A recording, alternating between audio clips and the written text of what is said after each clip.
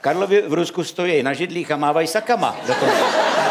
To nejsou No Japonci. počkej, to já nejsou znám jinou Japonci. věc z Ruska, když jsme byli.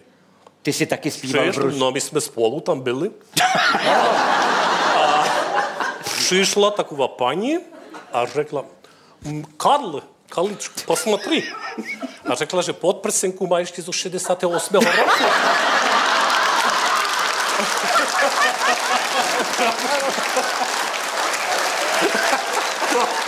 to není. A pak jsme jeli na letiště a najednou faninky na motocyklu nás předběhli autobus, aby tam byli první. No, To není jen tak. ještě, že tady si Karel skromně tyhle ty věci vůbec nám tady neříkal, ne. To A je... že by mu nějaká ukázala podprosenku, co on jí dal v 68. Chápeš to? Teď si představ, že taky kvůli, kvůli podpisu to neprala od té doby. Takže to je... S podpisem. tak to bychom skočili tohleto. Ano. Taky by mě ještě zajímalo, eh, jestli, když jsem se ptal na ty kolegiální vztahy, jestli třeba je tam taky trošičku, eh, svět opery máme zafixovaný všichni jako strašně vážnou záležitost. No, je to tam je prostor taky pro nějakou legraci, nebo říkáte si v šatně vtipy, že jo. Ital přinese nějaký z Itálie, ty přineseš odsaď nějaký, jo? Ne, jestli Pak si tak... děláme na schvály na představení. Na schvály si No, děláte? no. Jo, třeba. Eh, třeba má něco,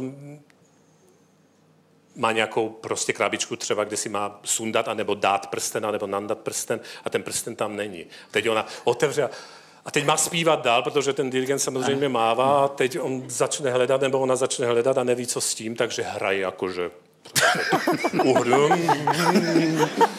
No a pak jsou největší legrace, když někdo dostane ne prostě okno, ale výlohu na jevišti a teď začne.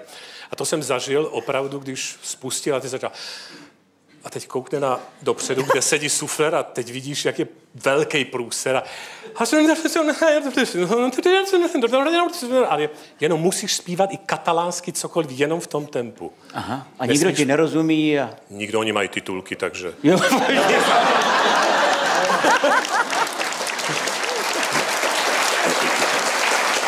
Já jsem zažil představení La Traviaty, kde, kde starý Žermont zpívá mladému Žermontovi, že ať se vzdá ty Hmm. violety, že je to kurtizána, hmm. prostě to tak nejde dál a tak dále. A on tam má v českém textu má zpívat ty můj synku jediný, ty můj synku jediný.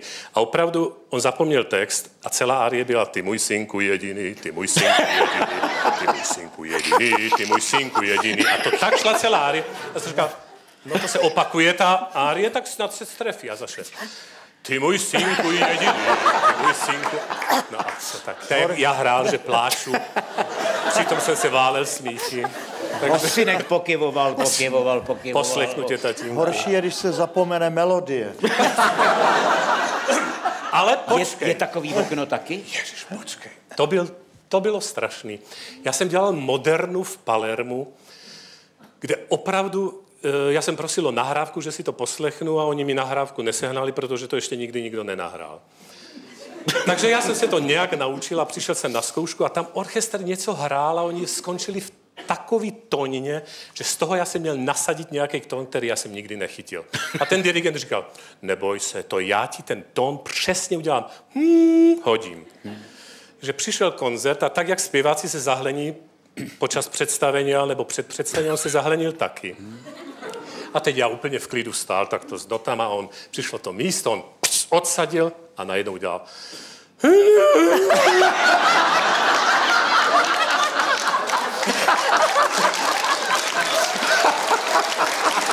tak, to jsem zbystřil. Tak jsem se podíval a jsem říkal,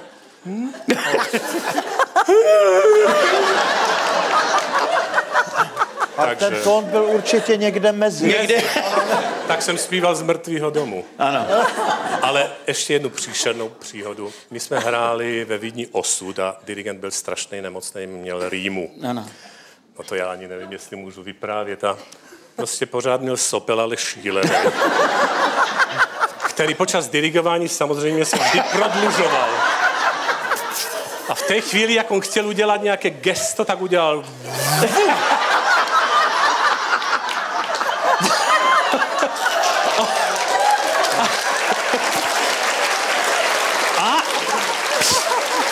solistce na notovej materiál na partituru.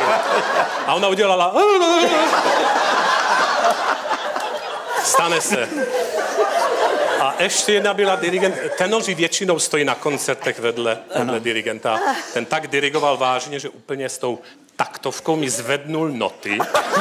Ty vyletěly do vzduchu. Já už nezaspíval hoře. Štefan Margita.